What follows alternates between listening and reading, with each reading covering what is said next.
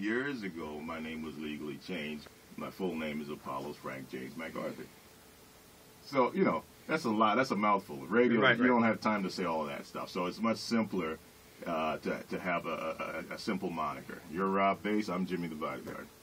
So, as someone who has, and I want to go back before the incident that happened on November 30th and December 1st. Okay. And that's when, now, you've always been popular in Baltimore. You've been the most popular blogger in the city, I think, um, who has had the most accurate information and also first. And I think, along with myself, many other people, although they won't give you credit, use your information and actually have been helped on the media side and on the police side as well. But we'll get to that in a minute.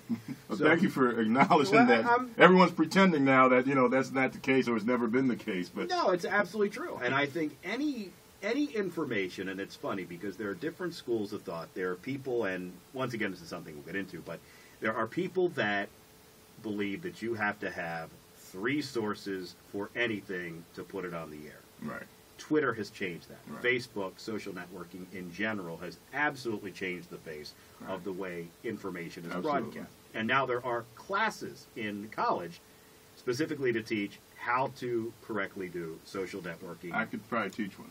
I, I bet you could. What I'm doing, Rob, although I'm not being given credit for it now, what I'm doing will be seen as pioneering. I may not be mentioned in it, but the, the techniques that are being used will definitely years from now, whether it be in broadcast school, uh, journalism class, or whatever, these things will be chronicled because, well, you saw the audience size it built up way more in an instant than most traditional forms are able to do. You know, the legacy media groups are not able to just break in with something and instantly attract that size of an audience without using social media. I mean, that's if it was a planned, scheduled program that was promoted days in advance, perhaps. But you can't just crack on a mic on a network that wasn't even airing or something and, and bring that many people without using social media. A, a, a relative unknown in the bigger picture nationally, but I, I had I was instantly I was able to instantly command a national audience, which I predicted. In the last blog piece I wrote, still up there. I will die free, freedom under fire.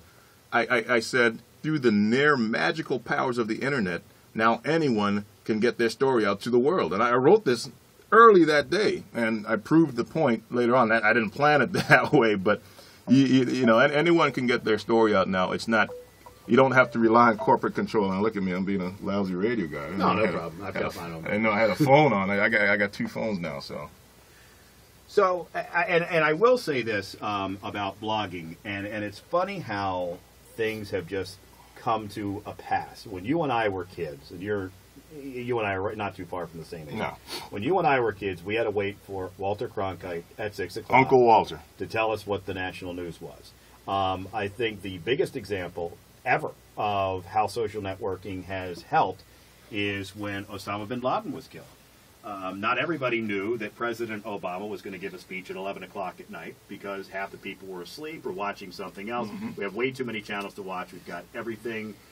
We have 15 History Channel, uh, different, but a lot of people got tweets. They got tweets, and that became the most tweeted event ever. Not sure where the Boston bombing came in, but that became the most Yeah. most tweeted event ever, and that's how people found out. And then you also had like some of the um, some of the massive political uprisings in the Middle East, where the, the regime change ended up happening. In Egypt, you know, stuff that's going on in Syria. Most of that, the attention it got came first from Twitter, then the mainstream picked it up. But it was all these local guys in the streets protesting and doing these things, and there was so many it flooded the streams. The mainstream then took notice, but they didn't. They were ignoring it initially. But you know, when you have over a million people tweeting about the same thing and it starts trending like that, you look at it and you can't even keep track of the, the stream. Whoa, it must be something going on, Right. and that's it. It helps establish what's actually real out there, as opposed to what you know, just just believing something. It's not hard to to chase down um, a breaking story by looking at Twitter. All the information may not be accurate, but if you keep seeing the same thing being tweeted, you know, situation downtown. So you, well, there must be a situation downtown. Where there's smoke, there's fire. Yeah, yeah, basically. And, and actually, that's that's funny. You mentioned when there's smoke, there's fire. You know, remember the big earthquake we had a few years ago?